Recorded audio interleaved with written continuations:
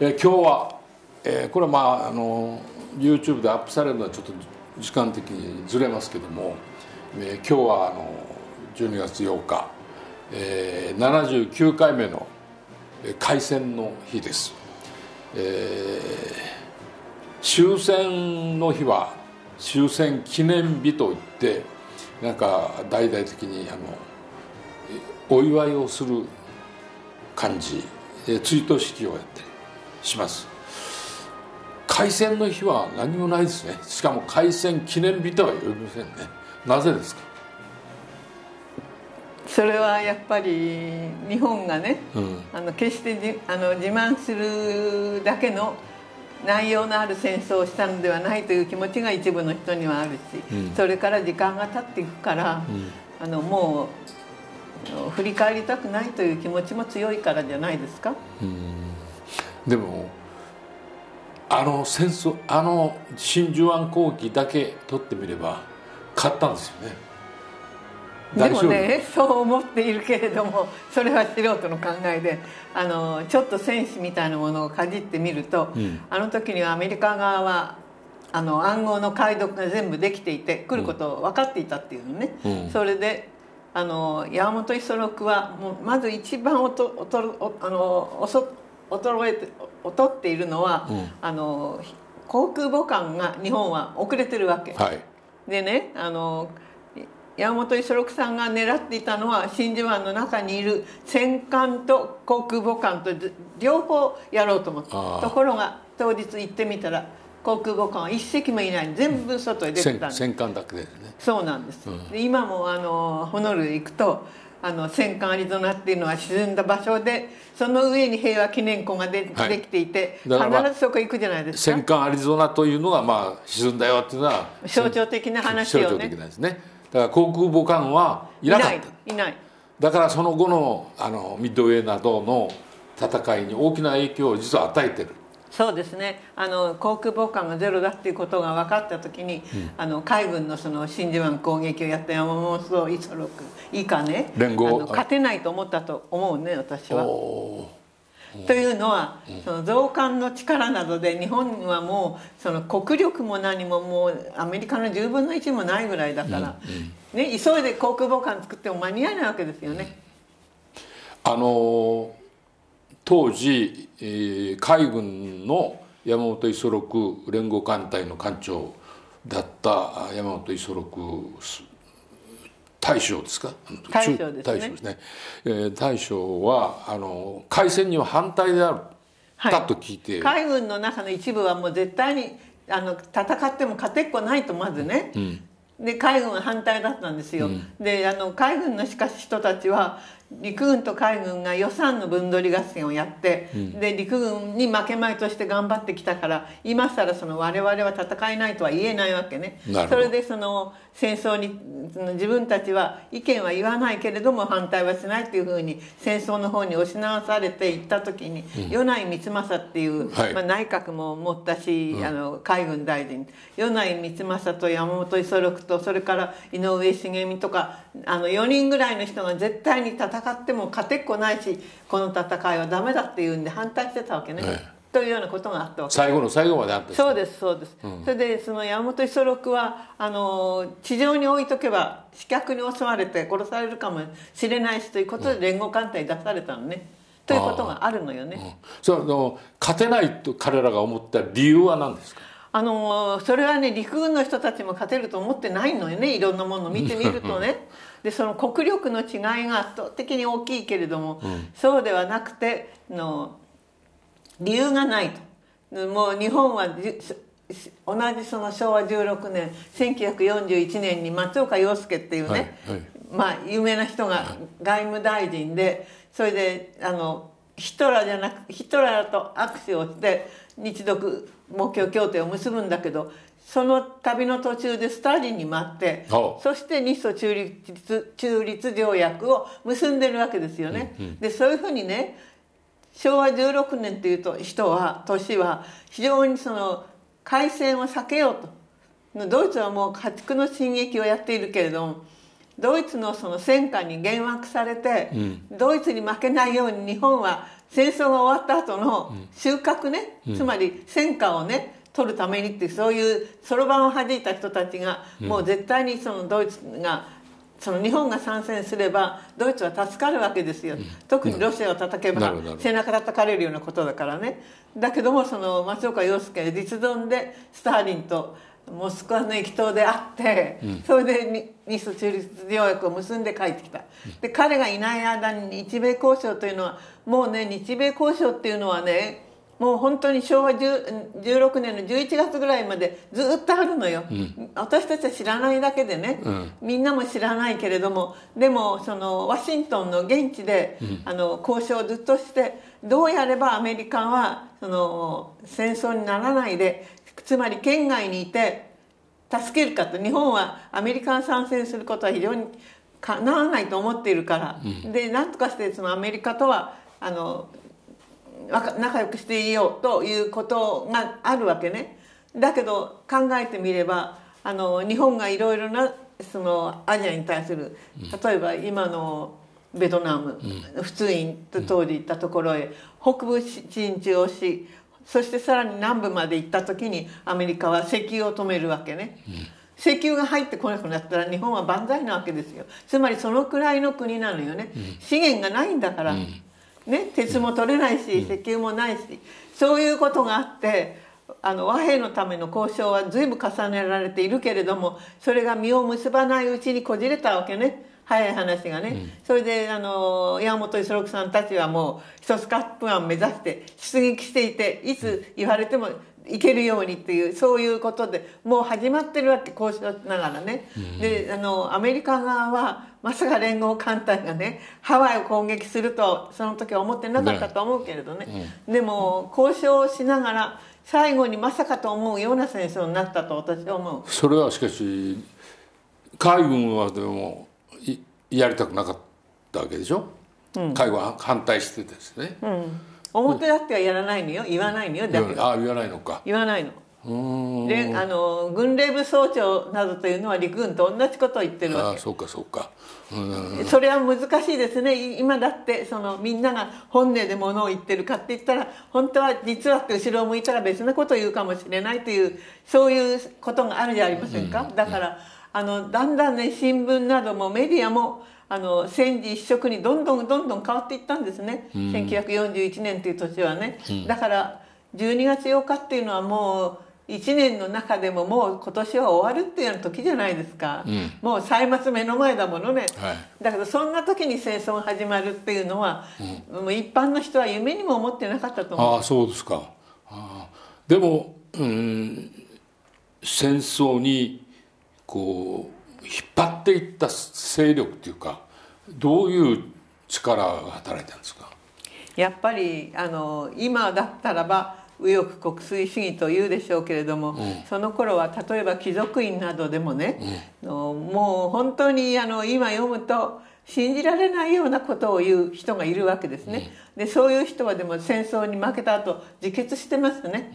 でもそういう人たちがね、つまりその戦争に向かっていくような、うん、あのそれまでの歴史を歪めても戦争に行く日本が正しいということを言いそそうでない意見を言う人は、まあ、国賊だというような人もね貴族院とかね衆議院とかにいたのね。うん、そういう。あのなんていうんですか激しい勢いのある意見を言う人がこうどんどんそうね。そしてねそういう人たちがねあの結局ね意見を言い始めるとそうでない人たちを攻撃するという形で意見は言われるわけじゃない。うん。ね、そうするとその攻撃されている人たちをかばうことはできないし攻撃された人たちはもうあの頃は治安維持法があってすぐ警察に捕まえてしまうから例えばだからそのそのねガソリン石油が要するに日本ないよと。このまま戦争しても、えー、1年2年持たないよというようなことをちゃんと理屈でもって言う人はいなかった。です。メメディアもなかった。世間一般にはそんなこと言えなかったですね、えー、言ったら非国民。いやあのねアメリカ対日なんとか断交で石油が来ないということを書くときにだからけしからんじゃないかっていう新聞の記事になってますよあの頃は。1941年。けしからん。そう、うんけしからんで日も来ない本はいいけども、そのう油も売って起こさないようなアメリカはけしからんのなのよ、それかそれそういう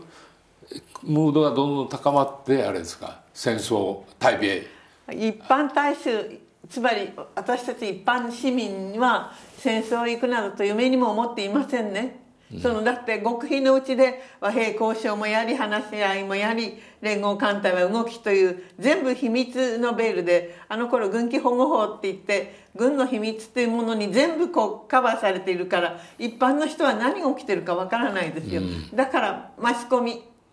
当時の新聞とラジオの役割は大きかったと思うので、ね。うん、でも新聞とラジオはあの基本的には戦争をへこう行くような論調に最終的になってしまうなったですね。対米要するにアメリカに行くしみたいな。はい。ななんて言ったっけ？あのアメリカやっつけろみたいなことを。なんか当時あったじゃないですか。あの私も子供だからよく覚えていないけれど、あのだけどその前の状況としてね人々がねその殺し合うということに慣れてるんですよ。つまりね昭和12年から日中戦争というものが始まってるわけね。それで日常的に戦われてで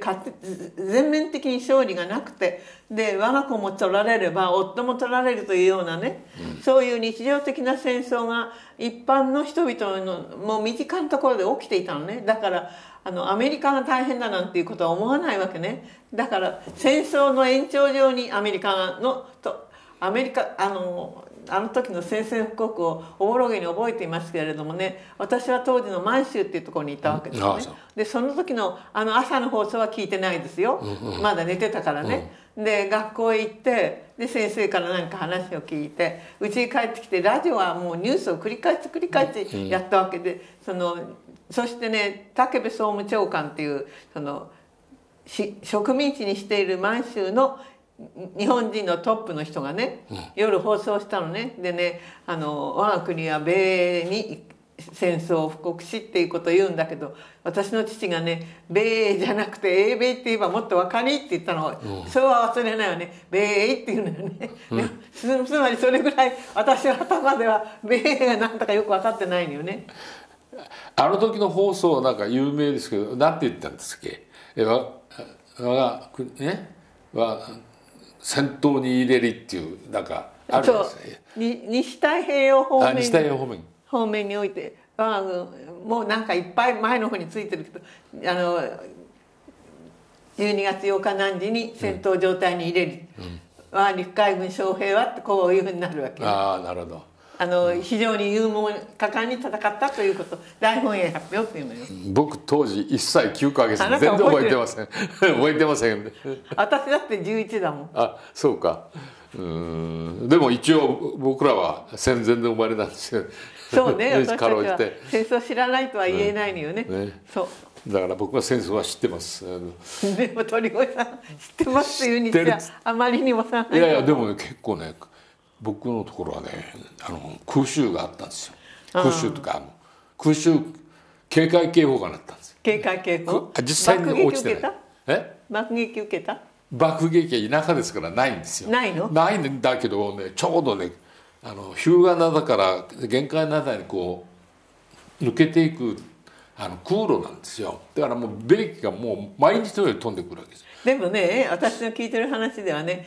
爆弾を落として帰っていくわけですよね、あのまあ、最初の頃は航空母艦にも戻っていくわけね。ところがね落とし損なった爆弾を持ってると重いんだって。だからね、うか。帰り道に落とすんだって。だからとんでもないところが爆撃されてるそうよ。いや僕のところはねか幸いなそう飛行機が来て毎日のように空襲警報になるか警戒警報になるんですけどあのー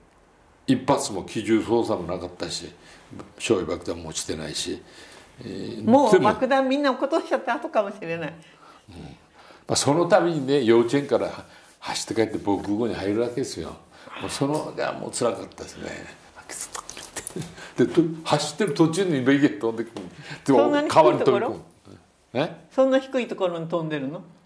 まあ見えるとこですよね。見える、あの飛行機の形がちゃんとしてる見える。べキラキラ。ってはうわーっつってお大人も歩いてた人みんな川に飛び込んで。あ、はあ、そりゃすごいわね。それでまあで僕に。私はアメリカの爆撃機っていうものは見たことがない。ただある日ねあの外を歩いていた時にね向こうの方にね真っ白い帯みたいなものがねあるの、うん。でこれは何だろうと思った雲だと思ったから、うん。それで不思議で仕方がなかったのね、うん。ずっと謎が解けなかったんですよ。その空にあったあの白い綺麗な帯は何だろうと思って。後で聞いたらこれは飛行機の鉱石だってねえ？鉱石鉱石飛行機がなんですって、ねうん。だからねあの満州を視察に来て、それであのキシリンの上空も見ないで、どっか遠くのところを飛んだんですね、それがはっきり残っていて、私は空に異変が起きたと思ったものね、つまりそれぐらい空襲には縁がなかった、まああの戦争はあのまあ一応、すまあ、ほとんどの人はねあのい一部の人を除いて、えー無謀な戦争であったという評価は一応は日本は、まあ、日本人はみんなそう思っていますかね。どうですか？まあ今の日本人は分かんないよね。わからないですよね、だからあ一定の年齢層で学校で授業を習った人たちは真珠湾は無謀な戦いだったというそういう認識はありますからね。さあどうですかね。どうですかね。いや真珠湾という認識ももうないか。ある人は少ないんじゃないですかね。私今あの18歳の高校を卒業したばっかりの人といろいろ話をしているけれどもあの本当に何も知らないねよくなるものですよね。そっか。で聞くとねあのあそんなことがあったのって言いますよ。だからやっぱり言わなきゃダメですね。そうですね。僕ねアメリカでねあの新聞社で働いてた時期、ええ。40 42歳の時あのコラム持ってて、ええ。コラムで一回その原爆の被害について書いたんですえね、ええ。そしたらねもうしもう電話とか手紙とかね直接新聞社に来た人もいたけどなんだと。今更日本のねパールハーバーのね卑怯な騙し討ちをやった日本ね原爆はなんだってねすっげえクレームが来たんですよ。怖かったですよ。つまりねアメリカ人はパールハーバーっていうのはねもう忘れられないその、アメリカが受けた受けた恥辱屈辱だと思ってるんですよね。あのね私が思うにねやっぱり日本人がよその国をねあの例えばあの韓国とか中国をバカにする、理由もなくバカにするようにねアメリカ側から日本っていうのはね東洋にあるちっぽけな国でね、あの小ずるいと。まあもう本当にねどうってこともないような小さな国がね、我が国のような大きな国にね、の不意打ちをかけるとは何だっていうそういうそのひっくり返ったような気持ちがあったんだろうと思う。それは例えばよこれは例え話にしてはまずいけれども例えば韓国がある日あの何か間違えて日本を攻撃したら日本人はなんで韓国は韓国は攻撃するのかと思うでしょうこの心理的なギャップというものはアメリカ人にはあったと思うあったね。だから西海岸の人たちはみんな収容所へ送るじゃないうん。そうですね。僕もだからねあの、えースニークという言葉を英語でね、ええスニークっていうのはその、ずるいという卑怯なという意味ですけどねそういう言葉を初めて知りましたその時あその時言われた？言われました。日本人はスニーキーだと、なのになんだと。言われてもうだからバカにしていて一人前の人間と思っていなかった。ないんですよ。ね。そのそれが闇討ちを食らわせたっていうようなことじゃないかしら。だからまあスニークと言われるのは本当に人格否定されるようなもんですけど。まあ人格日本人の人格はもう明らかにえー何十年経ってもですね、えーアメリカ人はそういう目で見てる、ね、ただ世代がどんどん変わってるじゃないですか、はい。この年月の間にね、はい。はい。で今の若い人たちは特にアメリカの人たち若い人も真珠湾は知らないかもしれないね。あのそのなんていうか気候が良くて一度に一生に一度は行ってみたいような場所となってきた。日本人もそうよね、だから、まああのとはいえやっぱり学校の授業出てるんですね。やっぱり真珠湾はその日本の学校で？アメリカの学校で。あそだからちゃんとみんな知ってること。うだってそれが日本とアメリカとの戦争の初めだからね。始めたから、うん、だからアメリカ人にとっては屈辱の歴史始まりでもあるし、まあ、始まりじゃないな。屈辱の出来事であるし、えー戦争に勝った始まりでもあるんですね。だからあの、えー割とあのみんな知ってましたよ。僕の新聞社の記者仲間も。その時には真珠湾じゃなくてパールハーバーっていうわけ？パールハーバーのアタック？パールハーバーです。パールハーバーを「Remember パールハーバー」ですか？ああらね、まあ、あの忘れるな。真珠湾を忘れる。私はねあのパールハーバーの時にね、あのパイロットの夫とねハワイにいた人と連絡を取り合ったことがあるんです。おうおう。1980年代にね、はい。でこの夫はねあのミッドウェーで戦死したの。う。んで結局私は会ってもらえなかったけれどもこの人はねあの民間人もいっぱいいたわけですよ真珠湾にはね。軍人軍があるだけじゃなくて。それはその軍の母校ではあったでしょうけどね、だから民間の人とか軍人の家族とかはねあの男たちを残して全部ね本土へ引き上げたんだってあの後だからねそれそれでそれっきり会えないということがあるわけ。あの夫があのその後の戦争で戦死してればね。そういう人が何人かあったの。で会ってくれた人もあったけれども手紙のやり取りはしたけどとうとう会えなかった人があってねその方は亡くなった。うん。それでねその人はね新婚早々でお腹に赤ちゃんがいたの。だから夫と会えない子供を産んだの。あでこの男の子がねその後でベトナム戦争でまたパイロットとして行ってこの人もまた父親と会えないお娘を後に残してるの。この娘さんにもあった。ー戦死してるわけ？戦死してるの。あだからアメリカの傷はね、あのパールハーバーとい真珠湾といってもねそれっきり終わ日本の場合は敗戦を境にして過去の戦争になったですよ。完全に過去の戦争でしょアメリカは今も続いているわけよ。そういうことに私は実際にアメリカを歩いていて何人にもそういうことに言われましたね。あのそうですね。今アフガニスタンでも何千人かの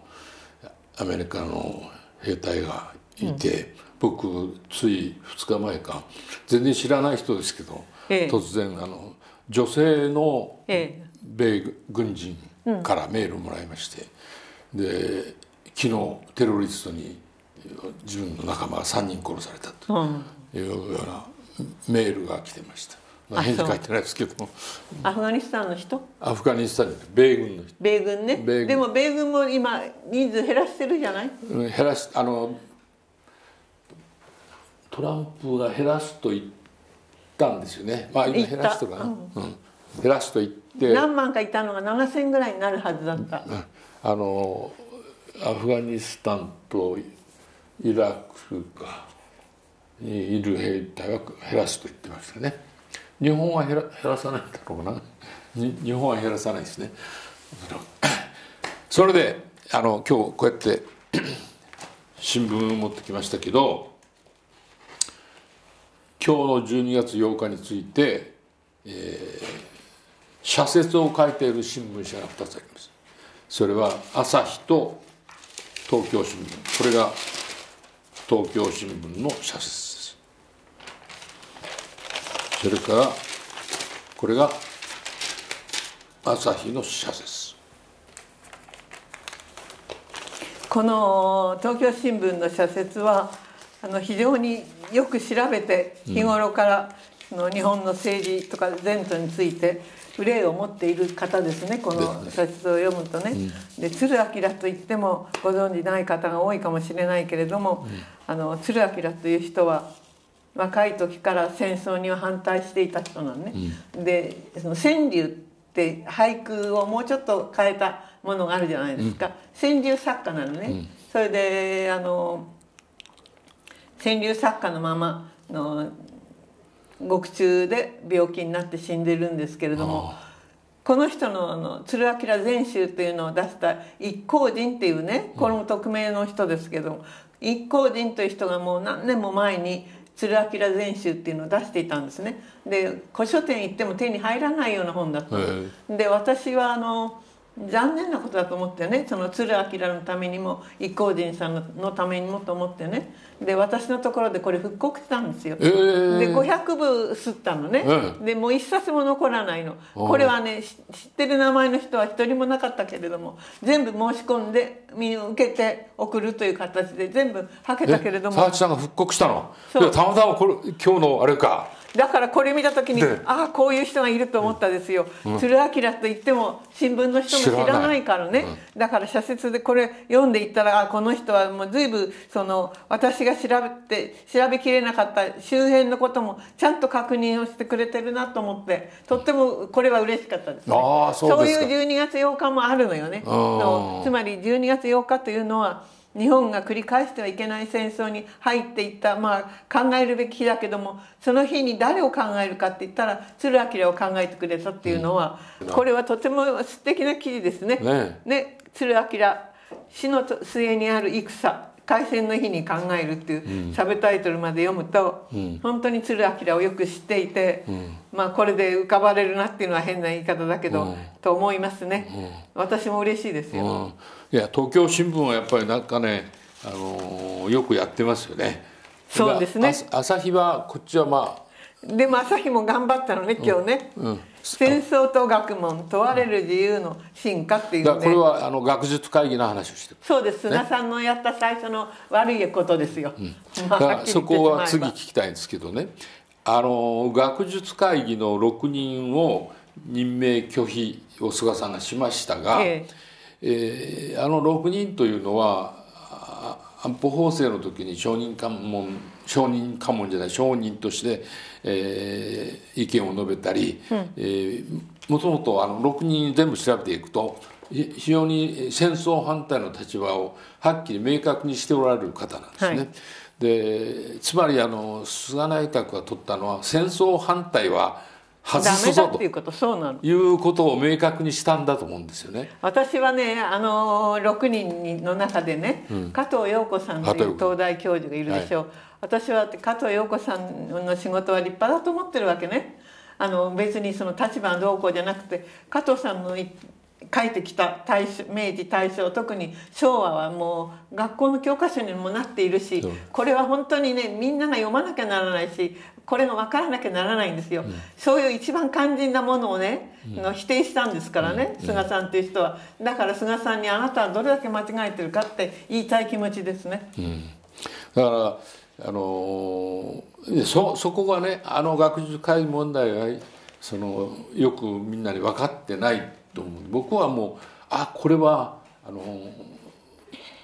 戦争に反対する人たちはどんどん外していく、うん、菅内閣は戦争反対と言わせないというそうですよね、うん、そう。本当にそうね、うん、そういうことを明確にしたなと思って、うん、私は特に加藤陽子さんという人の仕事は非常に立派だと思うから、本はみんな買ってるしああそうですか。そうそれでもうあのあ あのカルチャーセンターなどで話をするっていうとあのちゃんと申し込みをして聞きに行こうという立場です。すいません僕読んでないんですけど加藤陽子さんは基本的にはあの、まあ、歴史家ですよね。歴史家。歴史学者ですね。歴史学者ねあの一番代表的にはあ何を読めばいいですか？えーとね、たくさんありますけれどもね、うん、なぜ日本は負けると思っていた戦争を始めたのかっていうのはいいですよ。それはこの12月8日のからそうですそうです。始まりは他の話から始まるけど言おうとしてるのはなぜ12月16年の12月8日があったか、うん、あの信じられないことだと加藤さんは思ってるけれどもそうは言わないで、順々と資料によって語らせるというそれもねもうとても読みやすいです。うん、なるほどそれじゃあそれは、うん、今、加藤さんの本本屋さんに行くとあるよ。ありますか？はいあまあアマゾンで頼めばありますよね。うん僕はそれは加藤さんってまだそんな年じゃないですよね。えっ、ー、とねお母さんも私より一つ若いの。昭和6年だって。だから若いですよ。若いですよね、うん、まあそういうあのことを最初にやった菅内閣ですけどあの佐八さんはちょっと話変わりますけど、えー、菅内閣がこれまでやってきたこと言ってることそれから対応様子ですね、えー、ひっくるめてどういうふうに評価してますか？あの私はいつも間違えちゃうんですけどね。まず私がちゃんとやって、うん、それからその次なんだかもう曖昧なんだけど最後は公がやるっていうなんか自助公助共助。そうそう、うん、この3つっていうのは実にバカにしてると思うのね。でなんでその私たちは民主主義といいよ、うん、そして一応近代的な国家の中にいるわけですよ、それがね政府が、ま、最最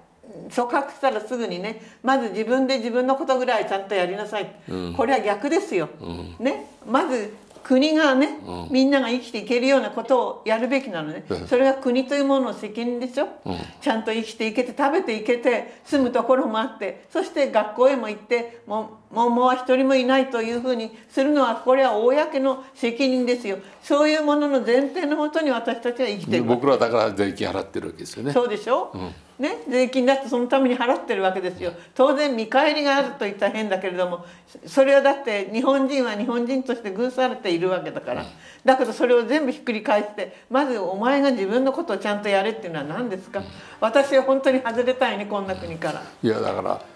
だったら税金払わないぞっていう話になりますよね。だって税金払ってんだからそれのために